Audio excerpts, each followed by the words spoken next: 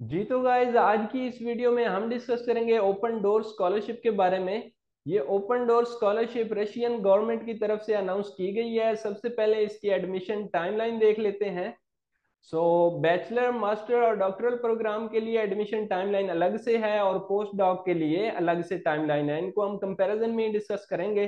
Applying date सितंबर 5 से नवंबर 20 तक है। बैचलर मास्टर और डॉक्टरल प्रोग्राम के लिए और पोस्ट डॉक के लिए अप्लाइंग डेट 16 सितंबर से दिसंबर 10 तक है। उसके बाद फ़र्स्ट स्टेज में एक ऑनलाइन ही टेस्ट होगा आपका, जो कि जब आप अप्लाई कर रहे होंगे, साथ ही आगे टेस्ट का ऑप्शन आएगा, उसी वक्त भी आप दे सकते हैं और इसकी time line September 5 till December 2 तक है।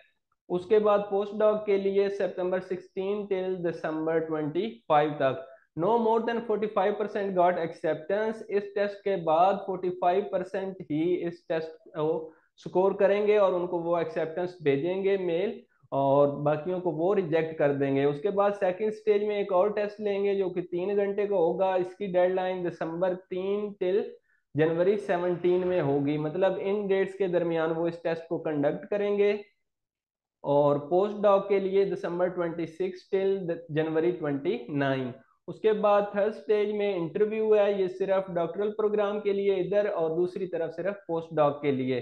जनवरी 20 टिल फैब 21 तक और पोस्ट डॉक में जनवरी 29 टिल फरवरी 21 तक। सो so, इसके बाद नेक्स्ट चलते हैं अभी।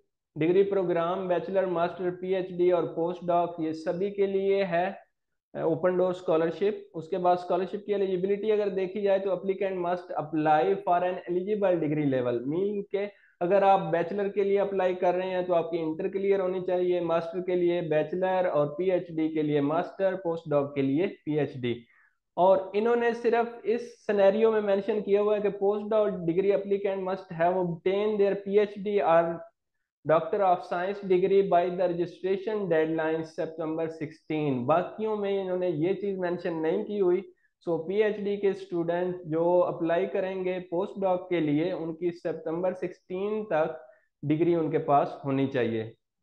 उसके बाद applicant must have a strong academic record all required document must be submitted proficiency in English और रशियन इज़ रिक्वायर्ड इन्होंने मेंशन किया हुआ है कि आपका ये टेस्ट रिक्वायर्ड नहीं है, आपने टेस्ट नहीं देने बट आपकी प्रोफिशिएंसी होनी ज़रूरी है इंग्लिश में या रशियन में। उसके बाद applicant must take the open door scholarship exam ये वही एग्ज़ाम है जो तीन घंटे का आपका होगा सो उसके बाद आपके इंटरव्यूज़ होंगे। उसके बाद scholarship cover full tuition fee waiver है for successful applicants a monthly stipend will be provided ये डिपेंड करेगा यूनिवर्सिटी के ऊपर यूनिवर्सिटी टू यूनिवर्सिटी वेरी करता है। स्टाइपेंड इनका कम ही है, बाकी फुली फंडेड मिल के आपको यूनिवर्सिटी फ़ी नहीं पे करनी पड़ेगी स्टाइपेंड कम होगा थोड़ा, आपको मुश्किल से ही मैनेज करना पड़ेगा उधर। उसके बाद scholarship are available across all academic discipline, no mandatory english or russian language proficiency test is required, but submitting such a test can enhance your application profile अगर आप सबमिट करते हैं इनमें से कोई टेस्ट तो वो आपके लिए बेनिफिशियल होगा, अगर नहीं करते तो उसकी कोई प्रॉब्लम नहीं है रिक्वायर्ड नहीं है। इधर उन्होंने लिस्ट ऑफ़ यूनिवर्सिटीज दी हुई है, इसको आप देख सकते हैं, तकरीबन 25 यूनिवर्सिटीज हैं। हायर स्कूल ऑफ़ इकोनॉमिक्स और नेक्स्ट स्लाइड पे भी ये इधर से आप देख सकते हैं, वीडियो को रोक के कौन कौन सी यूनिवर्सिटीज इसमें एलिजिबल हैं।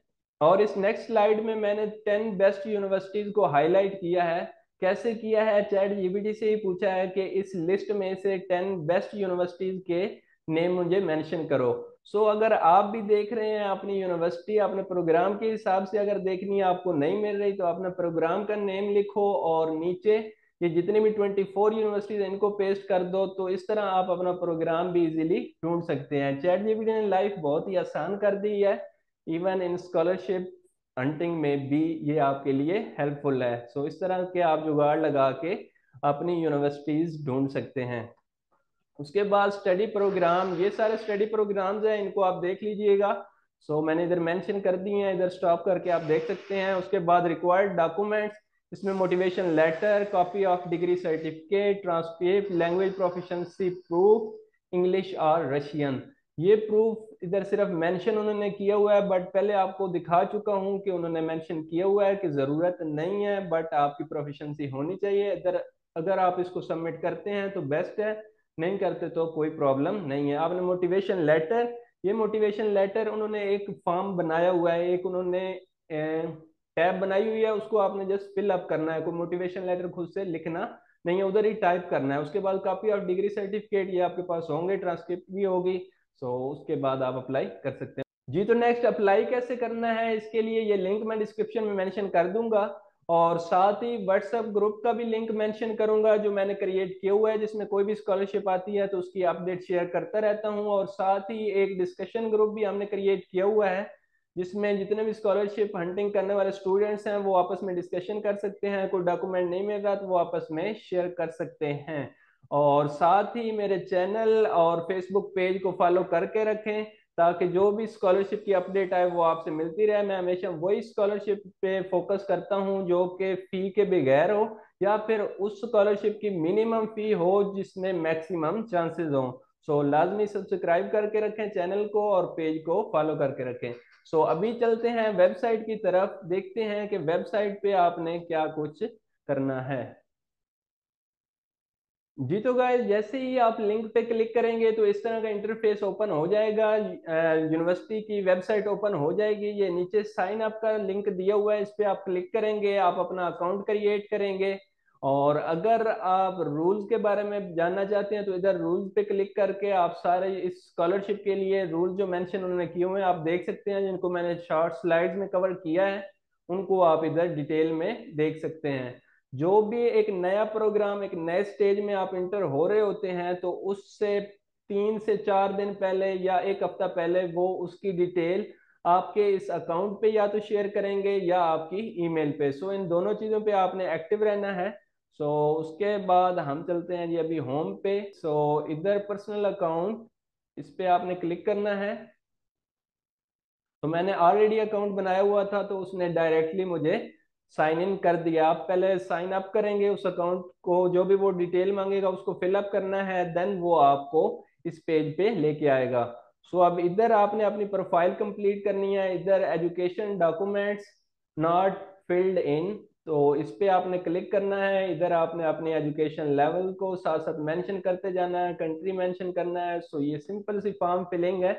इधर आपने अपनी डिग्रीज अपलोड करनी है इसे सेव करोगे उसके बाद नेक्स्ट नेक्स्ट आपने करते जाना है। मैं जस्ट आपको गाइड कर रहा हूँ ये चीज़ें आपने खुद से करनी है। उसके बाद मोटिवेशन लेटर ये आपको पहले से बता चुका हूँ कि आपने अपना मोटिवेशन लेटर फिल अप करना है ना कि आपने खुद से लिख के अपलोड करना है। सो so, इधर ही आपने इसको फिल अप करना है अपनी फ़ील्ड के मुताबिक। उसके बाद अचीवमेंट्स अब अचीवमेंट्स किस किस कैटेगरी में है वो भी इन्होंने इधर मेंशन की हुई हैं। अभी आपको पता चल जाएगा। पब्लिकेशन रिपोर्ट एट कॉन्फ्रेंस के बाद ये सारी चीज़ें उन्होंने मेंशन की हुई हैं। इनमें से कोई भी आपके पास अचीवमेंट हो तो आप उसको मेंशन कर सकते हैं।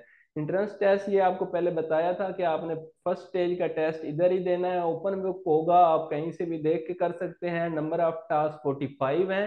Time to complete sixty minute है। इसको आप तीन दफ़ा इस टेस्ट को दे सकते हैं और जिस भी टेस्ट में आपके मैक्सिमम स्कोर होगा उसको कंसिडर किया जाएगा। सो so, इस पे आप जैसे ही क्लिक करेंगे आपका टेस्ट स्टार्ट हो जाएगा।